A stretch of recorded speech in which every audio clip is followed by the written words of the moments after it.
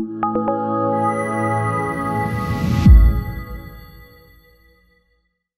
Hey folks, welcome back to the channel. So in this video, I'm going to give you a quick tour of Nina. If you didn't know, Nina 111 has gone beta, which is another step towards its official release, and that's super cool. I've been using the nightly builds of Nina for well over a year now, and the program has been working fabulously. Now, this isn't a tutorial video. This video is intended for those either thinking about switching to Nina, or maybe you're using another acquisition program, or if you're still using Nina version 110, say, and you're curious about what 111 beta is all about, this video is for you. If you want me to get into more details about specific parts of Nina, let me know in the comments below. And if you're liking this video or other videos of mine, hit that subscribe button if you haven't already. It uh, does help the channel grow. Okay, so let's get into it. Let's have a look at Nina 111 Beta. Okay, so I have Nina fired up, and this is basically what you're going to probably see when you open Nina for the first time. So you go to Options over here in the left-hand menu, and uh, we're on General, the General tab within the Options menu. And you're going to want to create a new profile. There's probably going to be a default profile showing already, and you could just modify that because it's a, a blank slate uh, for the most part anyways. So you could do that. But if you wanted to create a new profile or additional profiles, you can just click the plus button and you can see here that it creates it. So once you've uh, created your profile, or if you're using the default profile, you can rename it. You can call it what you like. I'll just call it my profile for an example. Um, you don't have to save. You don't have to click save in Nina. As soon as you change uh, any of the values, the parameters, they're automatically saved. You can select your language and your font, and you can select the update source. You can uh, update the uh, program based on uh, official releases or betas or nightlies. You can select the uh, color scheme that you want to use. There's a drop down of some color schemes here that you can choose from. You can have alternate color schemes or you can customize these color schemes and you can uh, plug in your latitude and longitude and uh, you can use a custom horizon as well if you want. I have a video that uh, uh shows you how to create a custom horizon and set it up in nina if you're interested in that check it out. Um, what i'm going to do though is i'm going to use just for the sake of demonstration here showing you behind the scenes of nina um, i'm going to show you with one of the profiles that i have created okay? Um, so that you can see how things are actually uh, set up uh, inside of it. So I have a, a custom color screen, uh, color uh, scheme that I have enabled. Um, this I like using at night. Uh, it's a nice, uh, nice color scheme that I created for nighttime use. And um, this is using the uh, Explore Scientific 127 carbon fiber triplet and the QHY 260M CMOS camera. So what I've done is I've named it that, and I've selected my language. Uh, I'm in Canada, so we actually use the uh, UK English. And uh, the font type I just left at default. I'm going with nightly updates right now. I could uh, switch that to beta since uh, Nina is now in beta mode. Um, Sky Atlas image folder. This is where I downloaded the Sky Atlas image repository and, and saved it. And I directed uh, Nina to that folder. Um, the Sky Survey cache folder is just default. You can leave that. Um, and again, down here where you can select the color schemes and enter your uh, latitude and, and, longitude and so forth and your custom horizon if you uh, have one. Under equipment, you're going to set up your camera, pixel size and bit depth. Telescope, you're going to set up for the uh, type of telescope that you're using. So in my case here, as I said, it was the Explore Scientific 127 and I have the uh, reducer flattener on it, so it brings it down to 666 millimeters uh, and a focal ratio of f5.3. And um, I entered a settle time after slew, so after the uh, mount slews to a specific uh, area of sky, I have it set to just uh, give it a five second breather settle time. Um, I am using a filter wheel. You may not be using a filter wheel, but the uh, filter wheel details will show here if you are for the various uh, filters that you have in the different slots. Um, so luminance, uh, red, green, blue, H-alpha, etc. Autofocus, uh, this is where you can set up, if you're using motorized focus, uh, you can set up for motorized uh, focus um, uh, settings, uh, how you want it to perform. So in my case here, I am using Pegasus Astro Focus Cube. uh, for my motorized focuser, and I have it set to a step size of 100. Um, uh, the default auto exposure time is 10 seconds, but I don't actually uh, use that when I'm um, imaging and doing autofocus. I have it set to, for luminance and red, green, and blue, I have it set to three seconds, and I think H alpha is around five seconds. I have it uh, set for as example or narrowband filters. That seems to work uh, not too bad. Actually, I have it right here. I can see it right here. So these are the uh, filters that I have installed with the uh, focused offsets and uh, the exposure times that I'm using. So this is where you can set all of this up, uh, including your backlash in or out. I'm using the overshoot method, which works really well. And I have it uh, pull in 300, uh, well, it, it pulls back in 350 steps once it, uh, to, in order to get to proper focus, uh, whatever number that is, whatever step uh, value that is that it's arrived at. Okay, so um, that is the autofocus. You can set up your dome settings here as well. And uh, this is your imaging windows for uh, configuring the, the imaging. So the type of files that you want to save, FITS, XISF, or TIFF. Um, the where you want to save them to and the file pattern name. So, you know, however you want to uh, have your files named, uh, you can choose to uh, uh, so you can select that and uh, um, have a specific file pattern naming scheme if you like. Meridian flip settings are available here for you to set up. Imaging options, you if you're using a one-shot color camera, you can debayer the image or you can do an unlinked stretch as example. Um, you can choose what focus you want to use, uh, uh, Nina or Hocus Focus. Hocus Focus is a, a plugin that's available for Nina.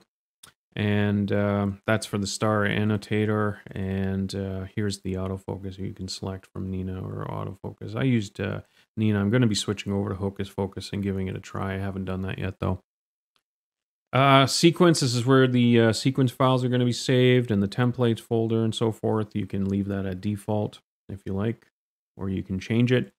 Plate solving um, this is where you're going to set up for plate solving and i have i use uh, astap as my main plate solver and uh, blind solver. I use uh, astrometry.net all right so once you've got those basic settings input uh, you can go to equipment uh, the equipment uh, tab on the left menu here and under camera. And you can select uh, the camera that you're using. So in this case here i'm using the 268m from qhy and I can click to connect that camera. Now, once you have all of your uh, settings uh, input for the equipment that you're using, gives you an indication here that the camera connected, and this warning is just I need to update the driver, so no big deal on that. But it's nice that it gives me that warning just to let me know that I should update it. So you can connect manually each device that you, each piece of hardware that you're using, or once you have it all set up, you can just do a quick connect over here by pressing this button here. You can quick connect or disconnect all of the equipment at once. You can set to cool the camera here. You can set your temperature and your cool down times. You can set up your warm up time and so forth. And you can just click to uh, start cooling or click to warm it uh, manually if you like. You can also set it to, uh, you can set up a, an automation sequence that uh, allows you to, uh, allows Nina to control that. So it'll cool the camera for you and warm it up at the end of your uh, imaging sequence. Uh, cooler power is demonstrated here in this graph and sensor temperature as well. Filter wheel, as I said, if you're using a filter wheel, um, this is where you'll find it. If you're not using a filter wheel, if you're just using one-shot color, then uh, this won't be applicable to you. But I'm using a filter wheel, so uh, I could connect it. It shows that the filter wheel is connecting down here, and it says that it's uh, successfully connected to the filter wheel. So and here's the filters that I have set up, the luminance, the red, green, blue, and uh, that shows you the various uh, information with regards to your filter wheel. Focuser, I'm using the Pegasus Astro focus uh, controller for my setup. Uh, yours will be in here as well under the ASCOM drivers or native, uh, depending on what uh, motorized focuser you're using. Rotator, if you're using a rotator, this is where you'd set it up. Uh, telescope mount. This is this is where you're going to connect your mount, and your mount uh, you could be using EQ mod, say for an EQ6 if that's what you're using. I'm using uh, Green Swamp server, so I would connect using the ASCOM Green Swamp Sky Telescope uh, driver. And then I could just click connect and it would uh, connect my uh, mount to Nina. And I've got the uh, success uh, message over here in the corner. So that's pretty straightforward. Uh, guider, again, depending what guider you're using, I'm using PHD2. Probably most people are using PHD2, but you can select uh, different guiders here, and that'll tie into your PHD, PHD2 and allow you to do auto guiding. If you're using a switch, you can set it up here. Uh, flat panel can be set up, weather, station, dome control. Uh, you can choose what uh, dome control you're using. And uh, safety monitor, again, you can choose a safety monitor if you're using one. Next, uh, that completes the uh, equipment uh, menu. If we go to the Sky Atlas menu, this is where we can actually input to look for, for an object. So you can search for objects in different ways within the Sky Atlas. It's very handy, but let's just put in M31 and we'll search for it. Pops up here, shows me M31, uh, some details on it. Uh, it's RA and Dec, so forth. This is my custom horizon, so it shows me the rise and the transit and the set time for M31 currently. And my custom horizon is input, so rooftop, uh, trees, and uh, more uh, rooftop and uh, so forth. So custom horizon is very nice to uh, have enabled. It gives you a good indicator of uh, when the object is visible. But the Sky Atlas allows you to uh, search in different manners too. So you can select uh, you can select a search by object type, uh, constellation, coordinates, surface brightness, all different things. So if I go into constellation as example, and I chose Cepheus or Cepheus, depending on how you want to pronounce it, um, I can click search and it's going to call up all of the objects in, uh, in Cepheus if I was interested in a deep sky object within um, the constellation of Cepheus. So the Sky Atlas is really powerful, nice little feature, and you can add it to a target sequence, or you can set it, send it to the framing assistant, or you can slew to the target. And if you want to just take a quick uh, image just to see how it looks, uh, you could do that as well in the uh, Sky Atlas. If I um, go back though, if I uh, just as example, if I use um, just uh, go back here, if I use M31 as my example, search for that. If I sent that over to the framing assistant, it's going to call it up here and it's going to show me my field of view with my sensor and telescope. And I can, uh, I'm using the hips to fits uh, sky survey in this, and uh, it shows you can choose different uh, sky surveys. I like the hips to fits one though myself. It's fast and it works well. Um, it'll show you uh, the target then that is loaded in the framing assistant. You can actually search in the framing assistant too. So if I wanted to say uh, search for NGC 1333, I click on it there to select it and then load the image and it loads it here for me. So I can see NGC 1333 uh, right there in the field of view. That's how it would frame up. So that's pretty uh, handy to uh, to have this framing assistant uh, at your disposal, so you can actually see how things uh, how things frame up. And uh, it gives you some of your camera specs here. Um, you can create mosaics as well very easily. So if I wanted to, I could create a mosaic. I'll just zoom out here so you can see it. So there I've created a four panel mosaic. And I can control rotation as well. If I'm using a rotator, I can custom uh, set the uh, rotation value however I want it to, however I want to frame the uh, deep sky object. So that's a very handy feature in uh, Nina.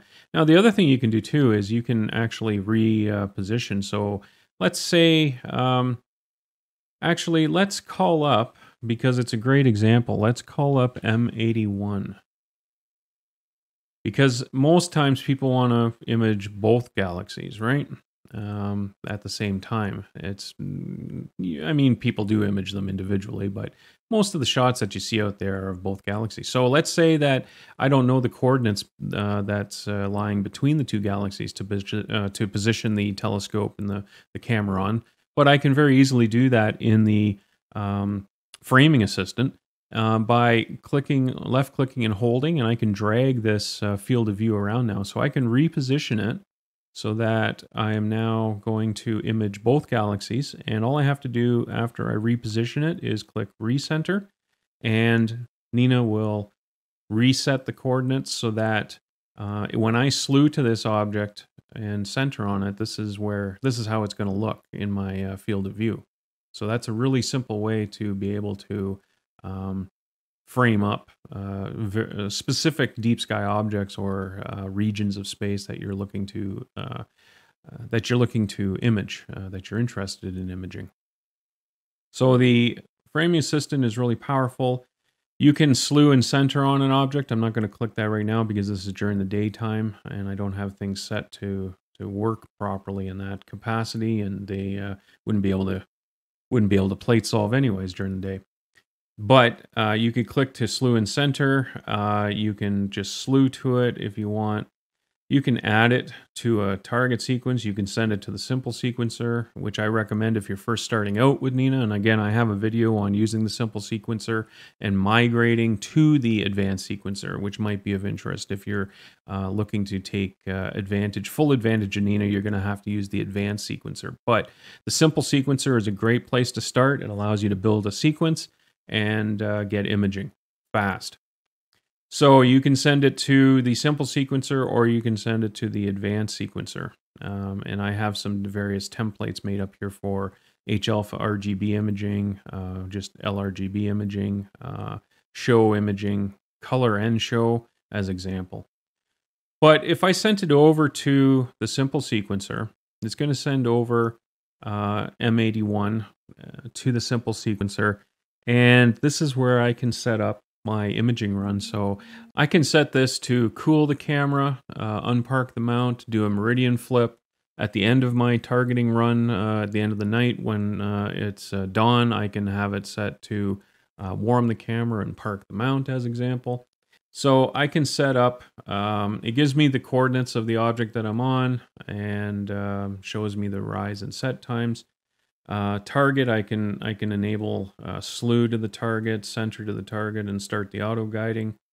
Autofocus, you can set various uh, parameters for the focusing, however you want to handle it. Um, I'm using uh, multiple filters, so I'm going to uh, enable uh, to autofocus on filter change.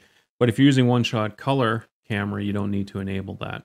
You could simply have it autofocus every 30 minutes just to keep things nice and tight, or you can select other means to have it uh, refocus uh, throughout the night as it's imaging. Down here, uh, you can enable, disable uh, various uh, imaging uh, runs. So you can set up to take, let's say, an hour. I'll do 12 exposures of 300 seconds. So there's an hour light frame that I'm going to take um, again, if you're using one-shot color, you, you, don't have to change this, but I'm using a filter wheel, so I'll just change it to luminance.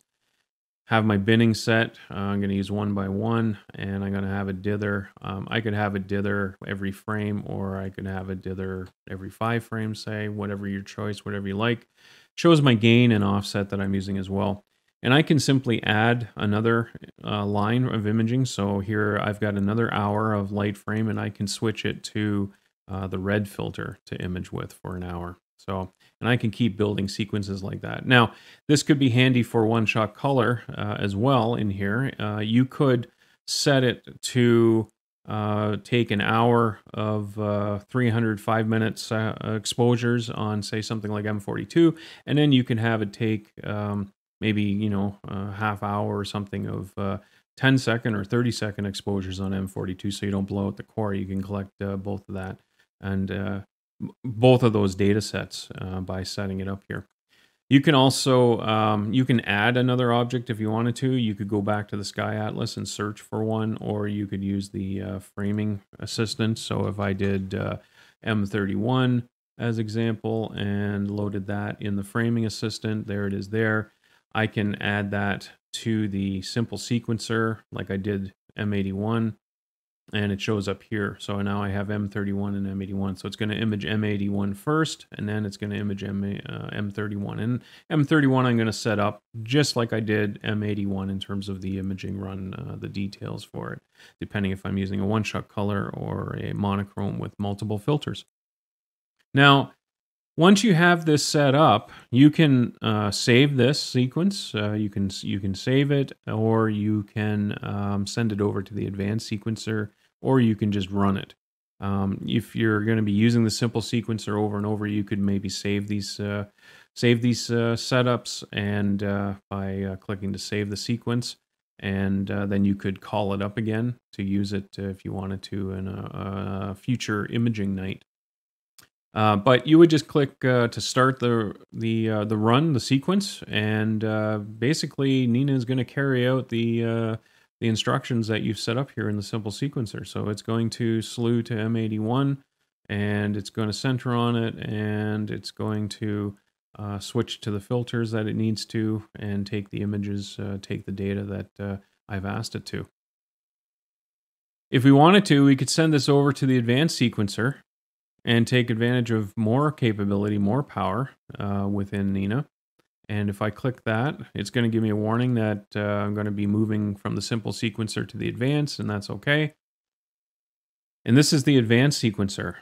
And this is where you can utilize, there's a whole bunch of instructions, options that are available to you uh, for imaging that you can custom create your um, advanced sequence imaging run with. Now, I'm not going to get into specific details. Like I said, uh, this is just a quick overview or trying to be a quick overview of what Nina is like. But this is the advanced sequencer, and I can set up for global triggers. I can set up my, my target is brought over from the simple sequencer as example, and it shows the coordinates of it. Um, I can set up triggers, loop conditions, instructions uh, if I want to add in feature sophistication to the imaging run. Um, here it's got uh, the instructions to switch to the luminance filter, slew and center on the target, and start the auto guiding. It'll autofocus every uh, 30 minutes just to keep uh, things nice and tight. Stars looking sharp. This is the uh, exposures that it's going to take, and it's going to do the luminance as I had set up in the simple sequencer in the red. Uh, but you can add um, to this, so if I wanted to, Let's say I want to add another, I can just simply uh, drag the smart exposure from the camera op, uh, menu and drop it here. And I can uh, select to say uh, image with the green filter. So very powerful there. Loop conditions, you can set it to do various things. I like to set it to um, have my imaging run end at the uh, end at nautical dawn. So I set it for nautical dawn. And you can set other loop conditions. Um, you can choose from those here in the uh, the pop-up menu, the sub menu that pops up. And triggers, of course, you can set for different uh, options as well. Um, triggers, one of the triggers I like to set up is to uh, email on failure. Uh, any any failures that occur, it's going to email me. Um, I also like to, I don't think it was up here in the global triggers, in the global triggers, I like to set um, to restore the guiding. Uh, so if I have clouds come through in that, it'll keep trying to restore the guiding for me uh, once the clouds have moved off. And then, so it's going to do an exposure run. It's going to take these exposures and it'll do that until nautical dawn, in which case it'll stop guiding then once it's completed, once it's reached that time, and uh, it'll stop guiding. And uh, well, actually, I should demonstrate. This is actually, I, I hold over two objects. So what I'm going to do here is I could set this to a specific time. So let's say I wanted to image this until 1 in the morning. Um, then what's going to happen is it's going to stop, Nina's going to stop imaging M81 at 1 in the morning and it's going to switch over to M31. It's going to stop the guiding and then it'll uh, slew and center on M31 and it will carry out the imaging instructions that I've set up for it until those are complete. Now, in this second uh, deep sky object, I could set that to uh, loop until uh, nautical dawn. So if I do that, it'll loop until dawn, then it'll just keep imaging M31 until dawn, which case it'll stop guiding, it'll then warm the camera and park the scope. So um, I will try to get into the advanced sequencer in another video uh, for you, uh, just to show you some of the power of it, but uh, that's a very quick overview of the advanced sequencer and the options that are available to you in it. Nina also has a flat wizard that makes taking flats super simple. I have a video about taking flats using it. Really simple to do, and you can use uh, you can use a panel if you're using a flats panel, um, or you can use. Um, I do sky flats, so I have it set to do sky flats, and it's very simple. One shot color is really easy to do uh, flats for, and uh, if you're using multiple filters like I am, you can have it do uh, take multiple uh, uh, uh, flats for the various filters that you have installed. Sequencer we've covered, that's the advanced sequencer. This is your imaging window. So this is how I have it set up and you can drag these windows around. You can move them to different areas, whatever you want to do. Um, I'm just going to drop it here again, but you can set up your imaging window to customize it how you like.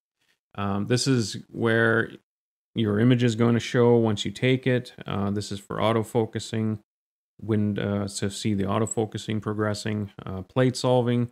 You can plate solve and so forth. All of these options here in these menus show up down below, uh, right down. So if I click on 3D view as example, um, if uh, if I turn that off and on, there now it's gone, so it's not on the bottom menu here. If I click it, to enable it, then it's available to me here. And I can break these out. I can put this uh, someplace else if I wanted to. I could leave it open like this, or I could actually uh, reposition it down here. So I would see where the telescope is uh, located, uh, where it's currently pointing as example, and I could see the image that I'm taking at the same time. So that is a uh, possibility for arranging the imaging uh, window in Nina. Very handy to have, and you can set up to have uh, various information about the camera and the focuser and the rotator, uh, where things are at there. It'll give you some telescope information as well, so things like uh, the tracking and the sidereal time and the meridian uh, flip when it's going to occur and the current right ascension and declination, etc. All of that's in there. You can get weather details if you have your weather uh, station connected. And over here, uh, it's going to give you some information, statistics I have pulled out. So I'm using statistics just to see the histogram and get some information about the uh, current image as they come in. Uh, imaging tab, uh, I can set for different exposure times and I could uh, manually select uh, different filters that I wanted to use for taking a, a, short exposure. If I wanted to just check an object out, just see how it frames up. Say I could choose a filter and do, uh, you know, do a 30 second exposure just to check it out. I can also use the uh, manual focus target uh, options to select a star that's available to me. And this will allow me to uh, uh, select the star and slew to it automatically. And it just shows you what stars are available currently in the sky. Okay, so this is the imaging window. This is where all the action is going to happen. This is where you're going to see your images come in and the information on your imaging run and an image history. It'll show you some images here of the various frames, the previous frames that were taken. Options we've already shown you at the very beginning for setting things up. So lastly, uh, we're going to look at plugins. Nina has uh, some awesome plugins available. They've opened it up to third-party development so that uh, more functionality can be created for Nina. And if you go to plugins available, it shows you the various plugins that are available. These are the ones with the check mark that I have installed myself, but you can choose to install them. And it's very simple to install. You just uh, select it and click install. And then you'll need to reboot Nina uh, in order for it to become active. Once they're installed, they'll show under the install tab here.